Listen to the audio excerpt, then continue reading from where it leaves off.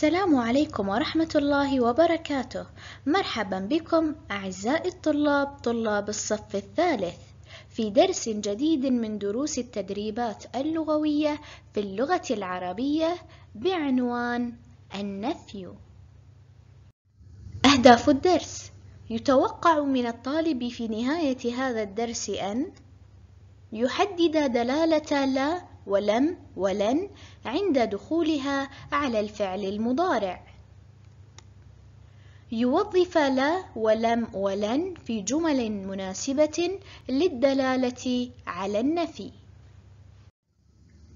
انظر عزيزي الطالب ولاحظ هاتين الصورتين. ماذا ترى في هذه الصورة؟ أحسنت ولد ومعه أزهار. ماذا يفعل هذا الولد؟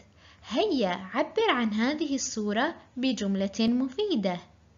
فكر جيدا. أحسنت. يقطف الولد الأزهار. وفي هذه الصورة ماذا يفعل الولد؟ عبر عن هذه الصورة بجملة مفيدة. رائع. لا يقطف الولد الأزهار.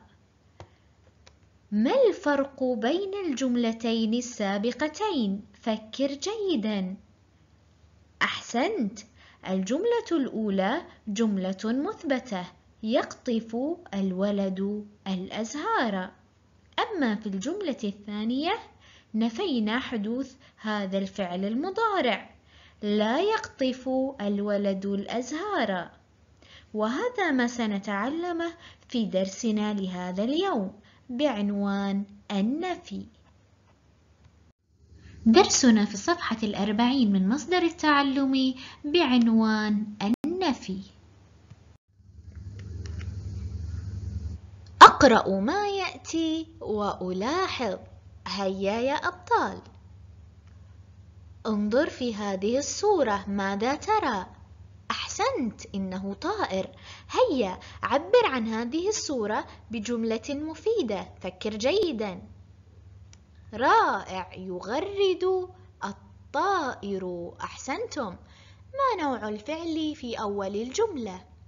أحسنت. إنه فعل مضارع. هيا انظر في هذه الصورة. هل غرد الطائر هنا؟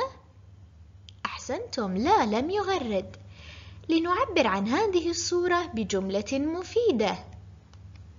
أحسنتم. لا يغرد الطائر. أحسنتم. ما الأداة التي نفت حدوث الفعل هنا؟ رائع. لا. لا يغرد الطائر. وما نوع الفعل الذي يتبعها؟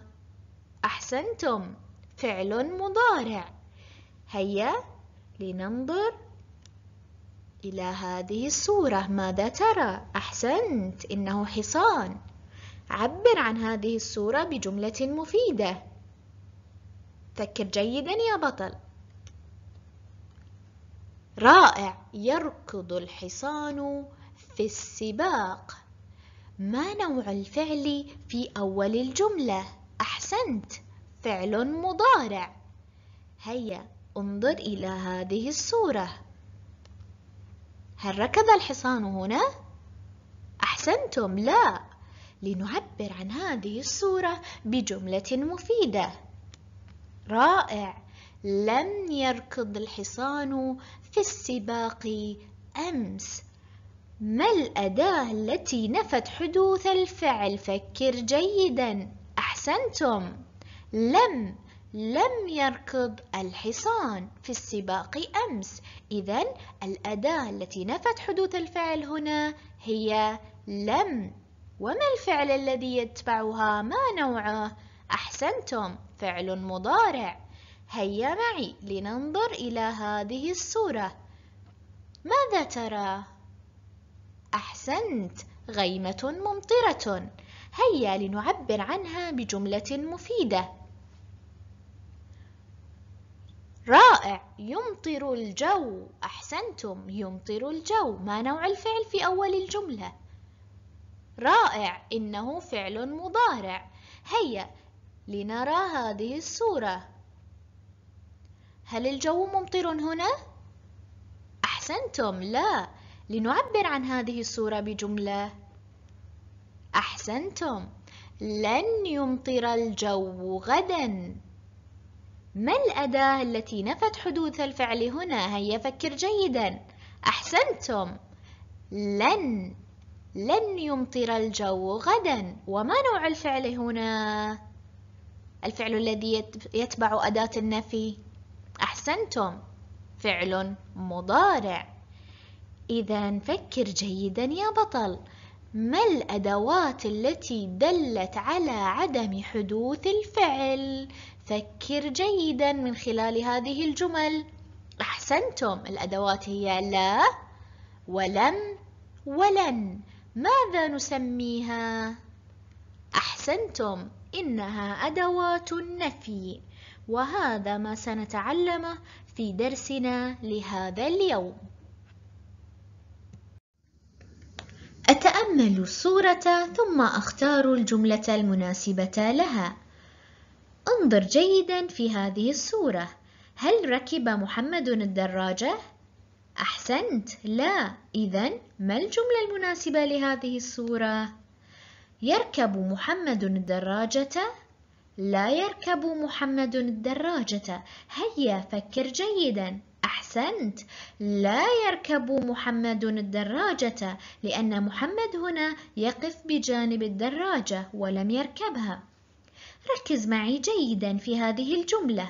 قلنا لا يركب محمد الدراجة. ما الحرف الذي نفى حدوث الفعل؟ أحسنت. لا.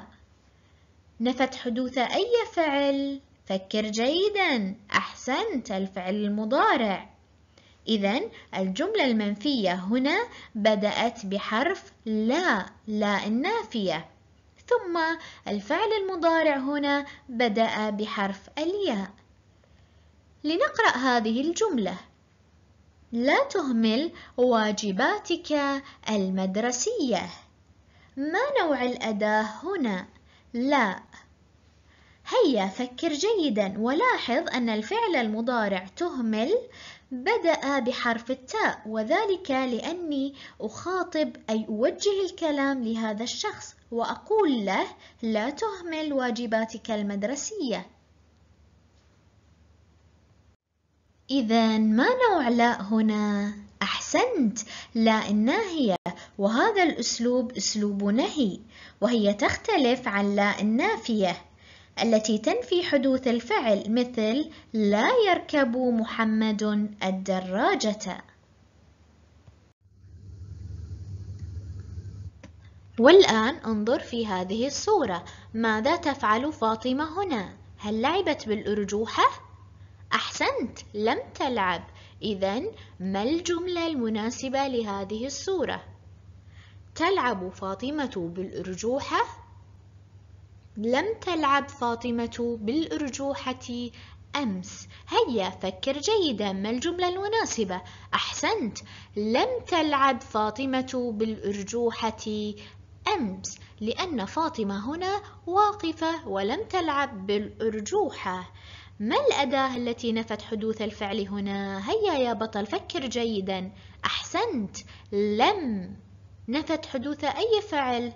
أحسنت الفعل المضارع تلعب. هيا يا بطل انظر إلى هذه الصورة. ماذا يفعل خالد هنا؟ أحسنت. جالس أمام التلفاز. اختر الجملة المناسبة لهذه الصورة. ينام خالد مبكرا كل يوم. لن ينام خالد مبكرا هذه الليلة لأن غدا يوم إجازة ما الجملة المناسبة هنا؟ هيا فكر جيدا أحسنت لن ينام خالد مبكرا هذه الليلة لأن غدا يوم إجازة ما الأداة التي نفت حدوث الفعل هنا؟ أحسنتم لن نفت حدوث أي فعل؟ أحسنت الفعل المضارع ينام إذا أتعلم لنفي الفعل المضارع نستخدم الأدوات لا النافية لم ولن. انظر معي في هذه الصورة ولاحظ المثال. لا يهدر حمد المياه. لا النافية هنا نفت حدوث الفعل يهدر. الفعل هنا ينتهي بالضمة. لاحظ المثال الثاني. لم يتغيب علي عن المدرسة. أمس لم يتغيب. ينتهي الفعل المضارع بالسكون ولم هنا تنفي حدوث الفعل المضارع في زمن سابق. لاحظ المثال الثالث. لن أنام متأخرا غدا. لن أنام. أنام هنا ينتهي الفعل المضارع بالفتحة ولن هنا تنفي حدوث الفعل المضارع في زمن المستقبل. هيا لنجيب عن أسئلة مصدر التعلم في الصفحة الحادية والأربعين. عزيزي الطالب قم بإيقاف المقطع لتجيب عن السؤال بمفردك. والآن هيا لنتأكد من إجاباتنا.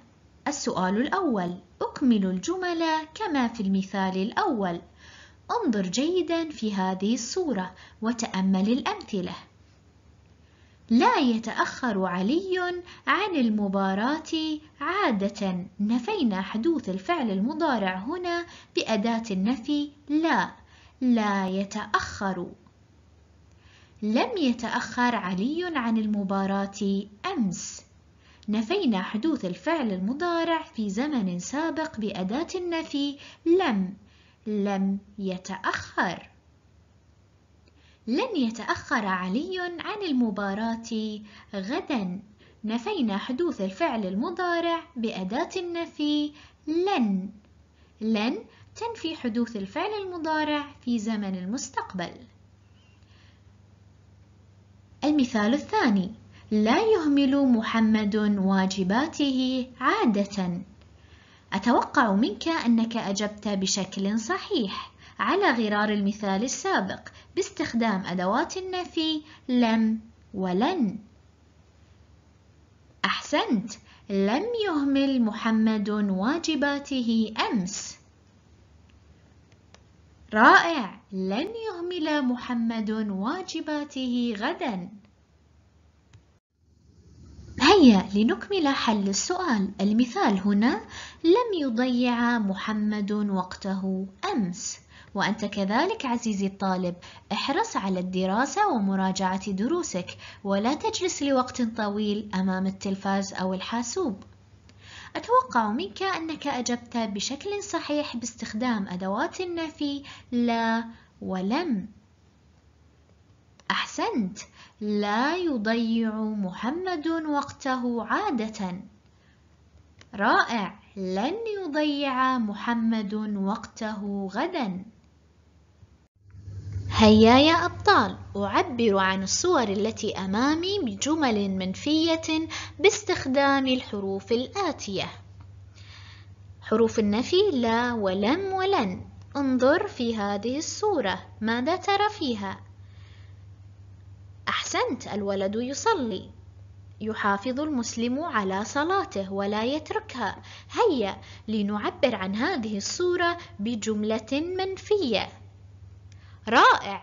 لا يترك المسلم صلاته. أحسنتم. المسلم الحق لا يترك صلاته أبدا في كل الأوقات. انظر في هذه الصورة. هل ترى أحدا يتدرب على السباحة؟ لا. كيف أعبر عن هذه الصورة بجملة منفية؟ أحسنت. لم يذهب جاسم إلى تدريب السباحة أمس بأي أداة نفيت حدوث الفعل؟ أحسنت. أداة النفي هنا لم. انظر في هذه الصورة. هل يساعد حمد أمه؟ نعم. هل تساعد أنت والدتك؟ أظن ذلك. أحسنتم. هيا لنعبر عن هذه الصورة بجملة منفية. أحسنت. لن يهمل حمد مساعدة أمه غدا. بأي أداة نفيت حدوث الفعل؟ أحسنت. أداة النفي هنا لن. السؤال الثاني. أعبر عن الصور التي أمامي بجملة منفية باستخدام الحروف الآتية. الحروف هنا لم لن لا. هيا يا عزيزي أجب عن هذا السؤال بمفردك وأتوقع منك أن تجيب عنه بشكل صحيح. تذكر عزيزي الطالب لنفي الفعل المضارع نستخدم الأدوات لا ولم ولن. حروف النفي ثلاثة لا ولم ولن تدخل على الفعل المضارع فتصبح الجملة منفية. إلى هنا نكون قد وصلنا إلى نهاية درس هذا اليوم. نلتقي بكم بإذن الله في دروس أخرى من دروس اللغة العربية. والسلام عليكم ورحمة الله وبركاته.